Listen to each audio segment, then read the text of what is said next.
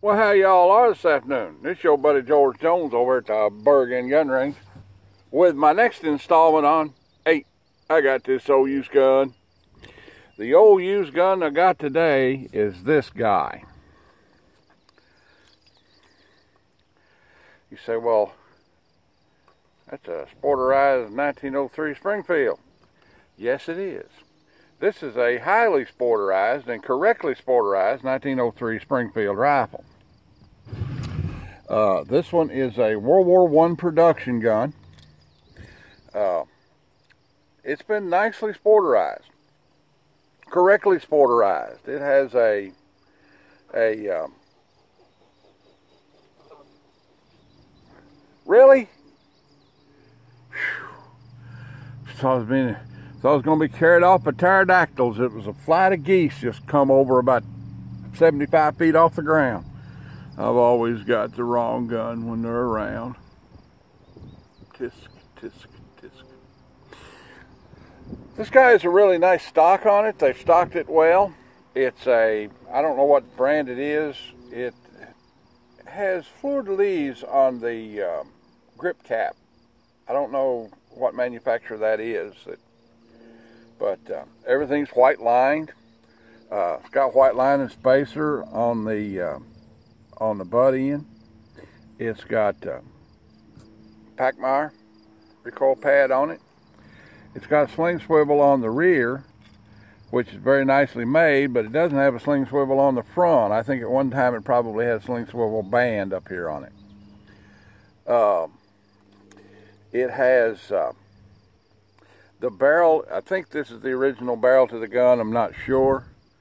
Um, it's been cut down on a lathe and straightened up. The sight wrap and so forth, and this is a 1903.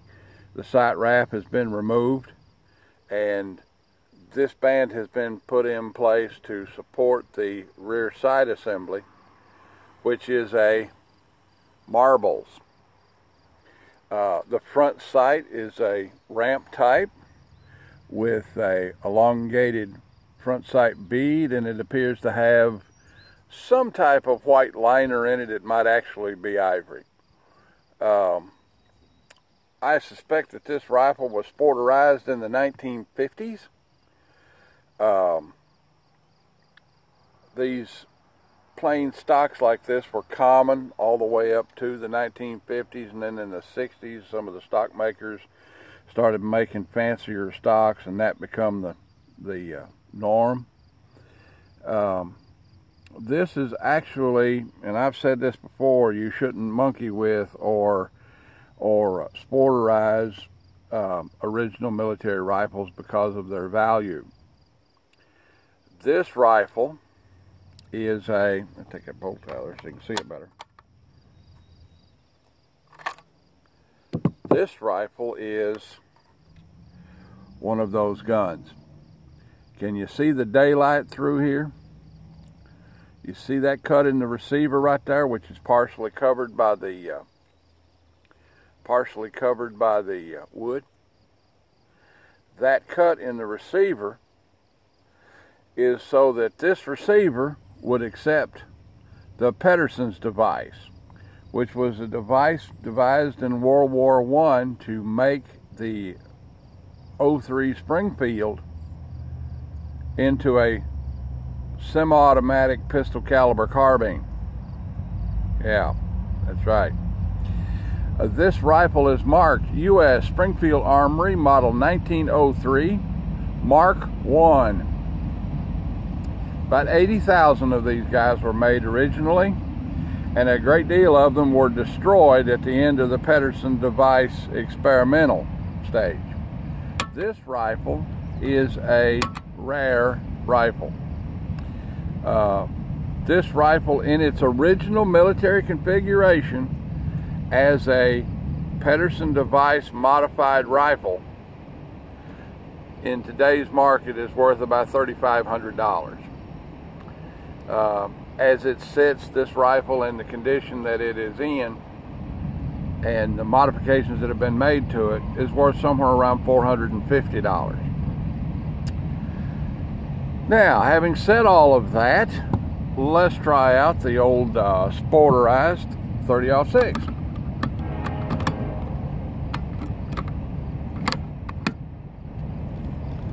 Let's see, let's try some. You got to lock that bolt in there, Jones. There we go. Now let's lock her in there. Okay. Let's try some 30-06 M2 ball, 147 grain. This particular ammunition is Prvi Partizan.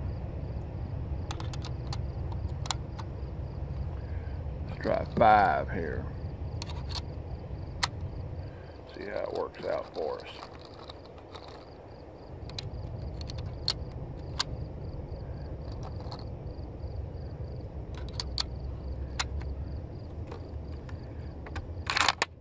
One bolted in there, get her up on safe. See, it's on safe. It's got this little gizmo right there, and you point that up, just like on a Mauser. All right, now. Shooting it off the old block here.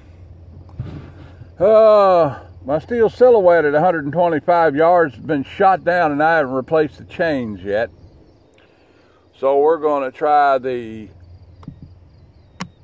14 inch steel disc that's about an inch and a half thick at 125 yards and see if I can actually hit anything with this thing. Let's get up here.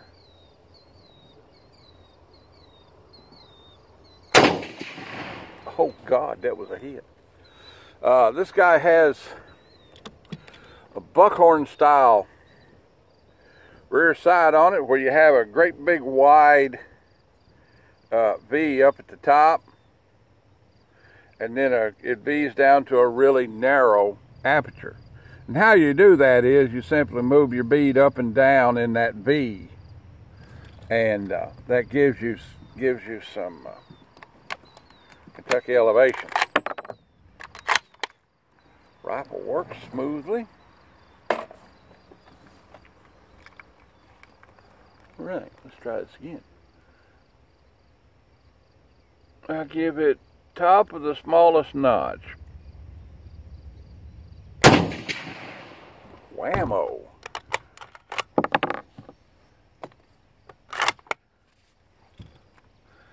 This is a good shooting rifle.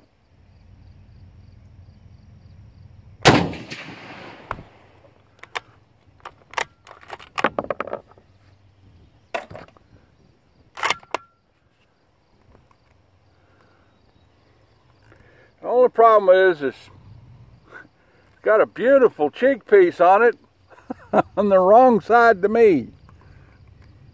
Try the old steel ground. No, let's try the swinger. Let's see if we can get the swing. Nope. No turkey tonight. I've never fired this gun before, so I don't have any real dope on it yet.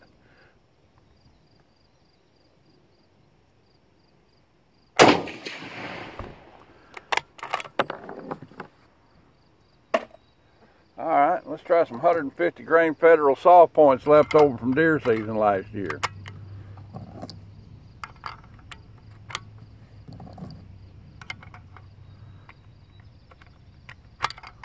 Get them in there. Put them in there, Jones. There we go.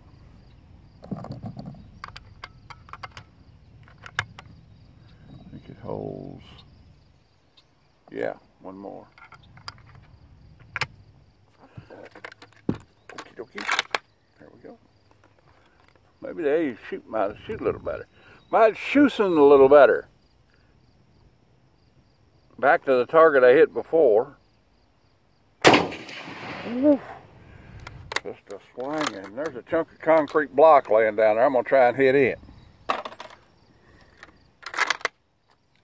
I'm gonna get two cameras eventually and learn how to edit it together so you can watch your favorite firearms presenter and bullet impacts at the same time. But I just just ain't got there yet. Ooh, bam yow. That was a hit. I don't know that this rifle's a tack driver or not. I put it on paper to find out what it'll actually do. Let's see how badly tear up a steel groundhog with it.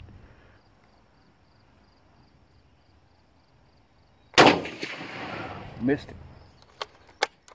One side slightly.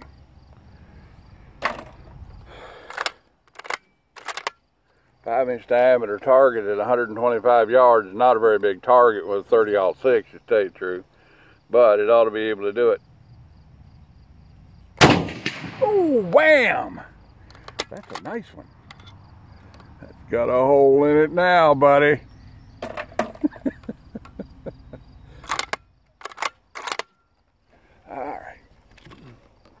One more. We're going to try one more. About all my aging shoulder can take. Let's try one more here on the same target, steel groundhog. See if I can hit it again. Hit it again.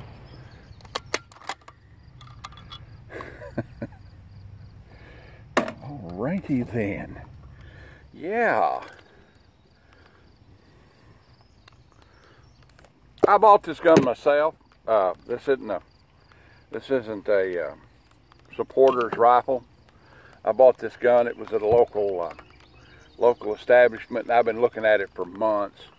And the other day, I decided, you know, I'm going to go down there and buy that Springfield, see what kind of gun it'll make, and if it makes me a good gun, I'll just keep it and not trade it for something else. Uh, so far, I like it. It's a very nicely, very good example of what a previous military rifle sporterized should look like when you're done with it. Uh, I suspect this gun was done in the 1950s. Uh, they didn't start release. The federal government didn't start releasing uh, 1903s and 03A3s to the sporting market until after the Korean War. Um, they had so many M1s by that time that they needed, the M1s were starting to go into second line service. And 03 A3s and 1903 Springfields were leaving second line service, which was National Guard, ROTC, Army Reserve, and things like that, you know, being collected up and sold off on CMP, Civilian Marksmanship Program, and, and privately as well. Uh, so these guns really started coming available in the mid 1950s. Uh, the wood on it, the way it's designed and so forth, the fact that it has a Lyman rear sight on it, and uh, that sort of thing, because Lyman went out of business about 1959, or at least went out of the sight, or marbles went out of the sight business. They stayed in the knife business for a while, but they went out of the sight business uh, and so forth. Just a lot of things on it that tell me that uh, this is a 1950s job. Uh, it's very nicely appointed, very beautiful gun. The value of this gun somewhere around, I, I get $400 for it. Uh, you know, I, I'm going to keep it in my, you know, rifle collection. You know how I like those things. And classic, classic bolt-action hunting rifles. But uh, if you see one of these guys around, just look at it. It's a matter of being able to grade out a used gun. Is what it comes down to. Uh, if you see a Patterson device modified 03A3 or modified 1903 Springfield that hasn't been further monkeyed with, and you can buy it cheap, you better buy it. Because if you find one of these guys in original condition, they're worth real serious money. Well, that's about the size of it for this installment of, hey, I got this old used gun. Um, like, take, share, I commentate, and subscribe. Uh, I haven't figured out what the 1500 subscriber giveaway is going to be yet, but it's going to be something. Uh, drop me an old dollar in the Patreon bucket on the way out the door if you'd like to support my content. If you don't like to want to support it that way, that's fine. Uh, I'm going to keep making content for you anyway. Well, I'll uh, see y'all when I see you, and happy hunting. We'll see y'all.